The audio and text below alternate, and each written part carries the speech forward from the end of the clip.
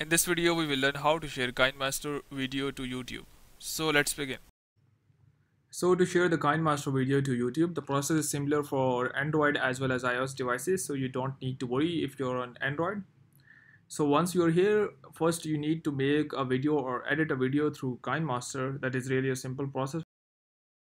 Here we are now just go and make any video you want to make like this one just go and add the media or the required files. I would not be editing much so I would just be so here I have in a video so I would just go and export this without much editing. So here we have I would just export it. So it would take a bit of a time for exporting. I would just go and wait for that process to complete. So here we are almost near to completion So here we are.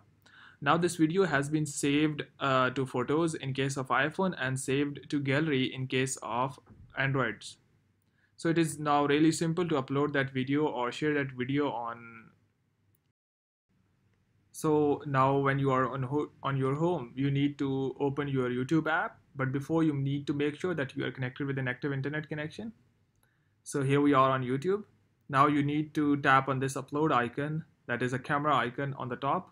Once you tap on it, just go and tap on video. And here you can select that video.